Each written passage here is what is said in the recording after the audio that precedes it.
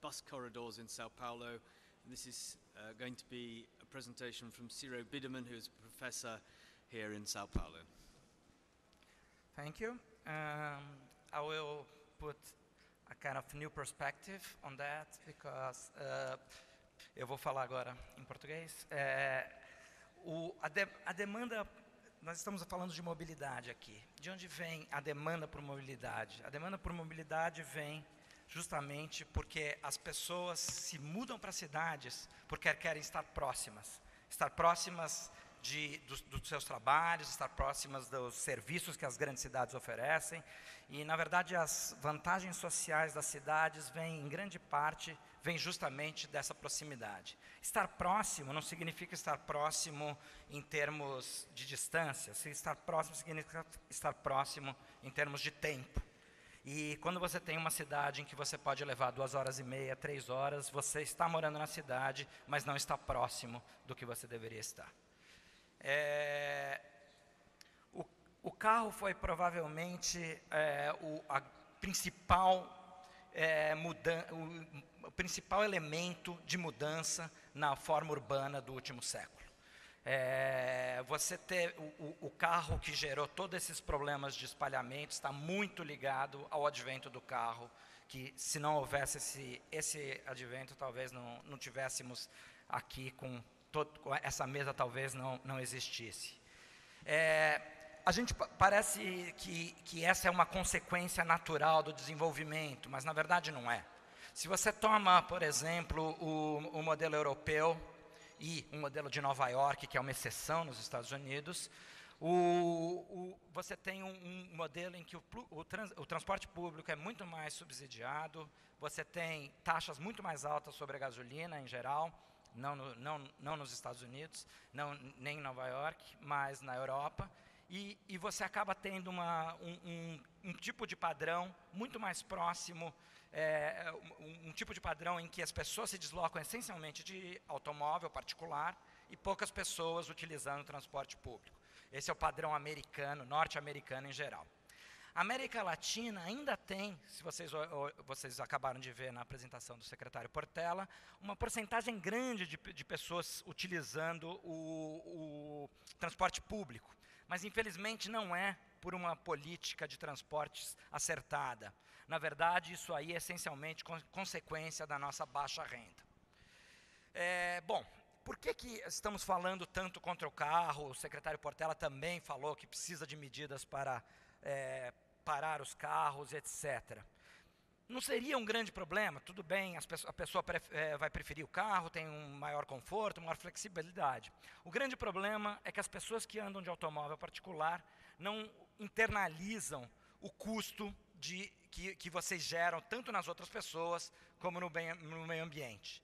Então, é, se você não utilizar medidas que obriguem as pessoas a perceberem o custo que elas impõem nas demais, é, elas não vão é, colocar esse curso por, por conta própria. É, como que está a situação atual de transporte público na, na, região metropolitana de São Paulo?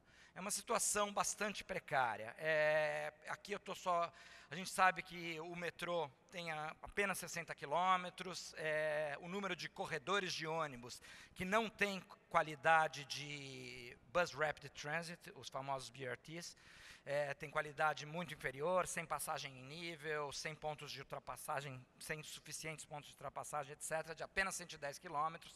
E o grande problema dos, do, do, do, trem metropolitano hoje em dia é que ele tem que brigar com o transporte de carga.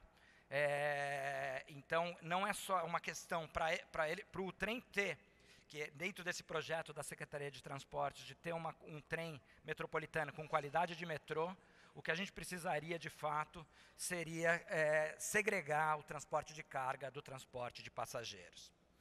É, aqui é o atual rede de transportes, é, atual de 2005, que como vocês podem ver, é, não estou colocando aqui, obviamente, os ônibus usuais, isso ele cobriria essencialmente a, a, a, quantidade de circuitos de ônibus usuais, aqui cobriria toda a mancha urbana.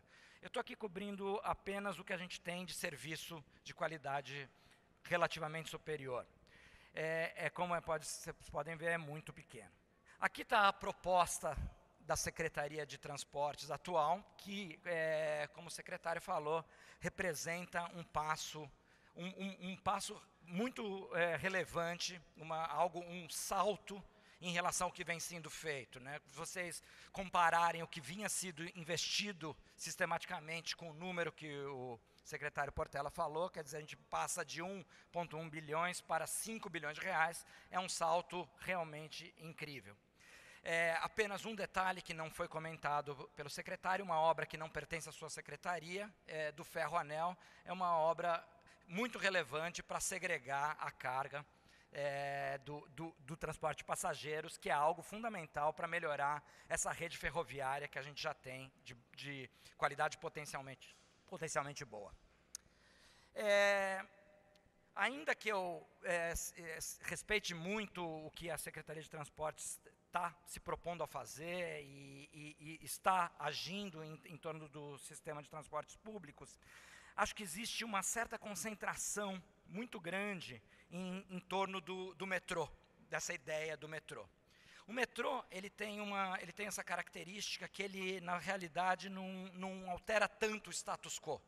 No sentido de que o metrô, é, o sistema fica escondido, você acaba não retirando espaço dos automóveis, é, porque justamente porque ele está enterrado.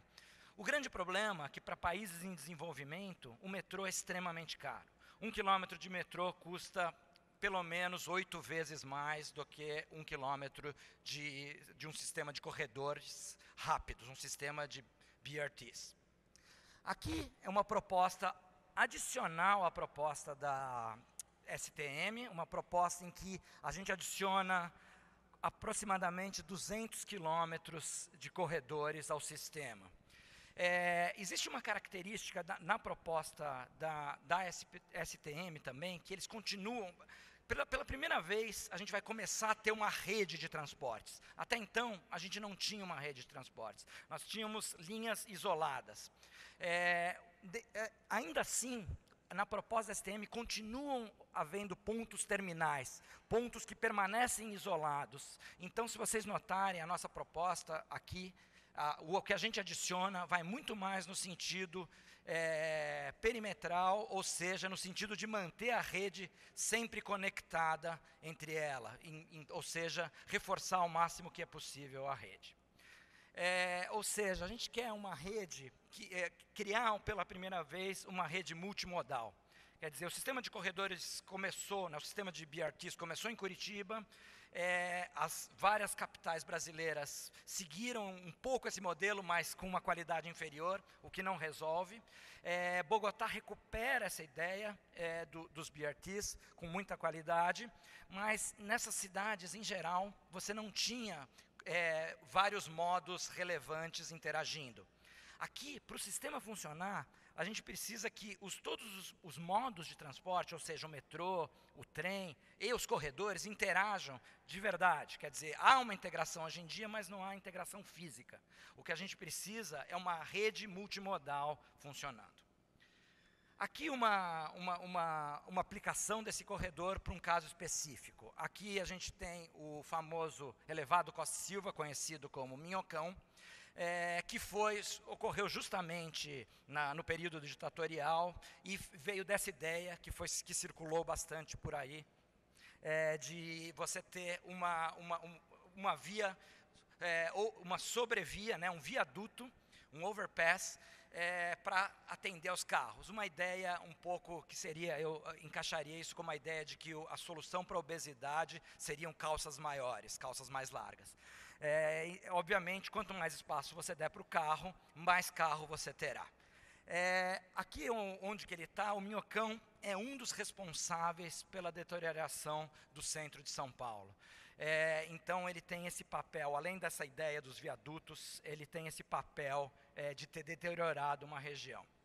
A nossa ideia, essencialmente, é criar um, um, ele como usá-lo como um polo de integração. Há grandes, vários projetos de derrubada do minhocão e substituição por um túnel. O túnel é a nova é, modalidade do, de, de, viadutos, né? quer dizer, antigamente eram viadutos, os viadutos não funcionaram, as pessoas, algumas cidades estão adotando a, a substituição por túnel, como o caso do Big Dig em Boston.